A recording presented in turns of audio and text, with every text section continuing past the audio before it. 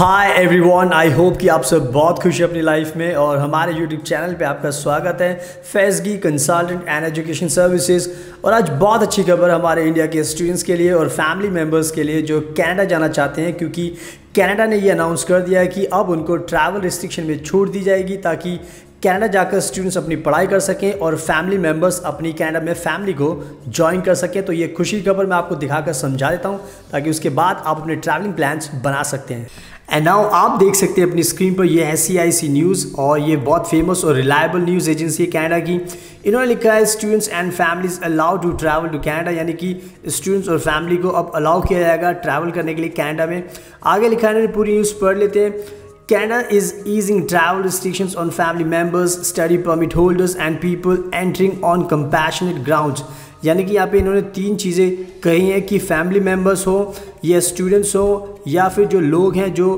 Compassionate grounds पे Canada आ सकते हैं उनको ट्रैवल रिस्ट्रिक्शन में छूट दी गई है आगे लिखा हुआ है this was just announced in a press conference in Ottawa by Canada's ministers responsible for immigration health and public safety यानी कि ये अनाउंस किया गया एक प्रॉपर प्रेस कॉन्फ्रेंस में ओटावा में जो हुई थी, उसमें शामिल थे इमिग्रेशन मिनिस्टर थे हेल्थ मिनिस्टर थे और पब्लिक सेफ्टी मिनिस्टर थे। तो उन्होंने तीन चीज़ों पर ध्यान दिया है। पहली चीज़ है, पहला पॉइंट है आपके समझने के लिए, Canada's Immigration Minister Marco Mendicino stated that extended family members of Canadian citizens and permanent residents will be able to enter Canada beginning of, on October 8 यानी कि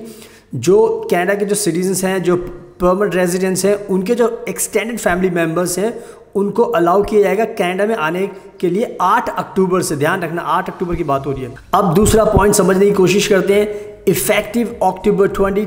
International students enrolled at a Canadian designated learning institution will be able to enter Canada so long as their DLI has COVID-19 readiness plan that has been vetted by the province or territory that the DLI is located in. तो समझना पड़ेगा इन्होंने बिल्कुल clear कहा है कि जो international students है अब वो 20 अक्टूबर के बाद से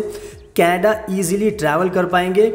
अगर उनके जो यूनिवर्सिटीज़ हैं, अगर उन्होंने अच्छे से पूरा प्लान बनाया कि वो किस तरीके से online classes on campus classes देंगे, क्या इन्होंने प्रिकॉशंस लिए हैं, और ये पूरा इनके जो टेरिटरी प्रोविंस के जो मिनिस्टर्स हैं, उन्होंने अच्छे से पूरा उसका जाँच की है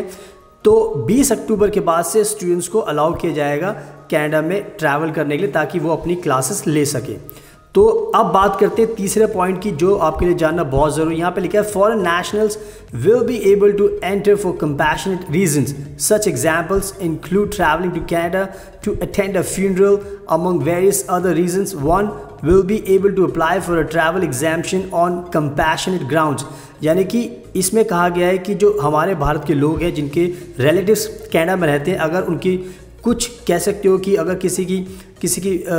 गॉड फॉरबिट्स मृत्यु हो जाती है तो उनको अगर फ्यूनरल अटेंड कर रहा है कनाडा में तो उनको कंपैशनेट यानी कि कह सकते हो इमोशनल ग्राउंड पे और दया के ग्राउंड्स पे उनको अलाउ किया जाएगा कि वो कनाडा ट्रैवल करके अपनी फैमिली को ज्वाइन कर सकें फ्यूनरल के लिए, अगर किसी का कोई एक्सीडेंट हुआ है। तो ये कुछ रीजंस हैं कंपैशनेट ग्राउंड के तो हमारे जो इंडियन लोग रहते हैं, उनको अलाउ किया जाएगा अपनी फैमिली को ज्वाइन करने के लिए। तो इन्होंने तीन चीज़ें बहुत इंपॉर्टेंट की हैं तो आपको ध्यान रखना है कि एक तो 8 अक्टूबर से जो जो कैनेडा के जो सिटीजन्स हैं, उनकी एक्सटेंडेड फैमिली मेंबर्स उनको अलाउ किया जाएगा। दूसरा 20 अक्टूबर से स्टूडेंट्स को अलाउ किया जाएगा और उसके अलावा जो फैमिलीज़ हैं, जो इंडिया में रहती हैं कंपैशन ग्राउंड्स पे उनको कनाडा जाने के लिए अलाउ किया जाएगा। सो आई होप कि ये पूरी न्यूज़ आपको समझ में आ गई होगी और इससे आपको काफ़ी खुशी भी मिलेगी क्योंकि अब आपका कनाडा जाना बहुत आसान हो जाएगा स्टूडेंट्स का फैमिली मेंबर्स का और जो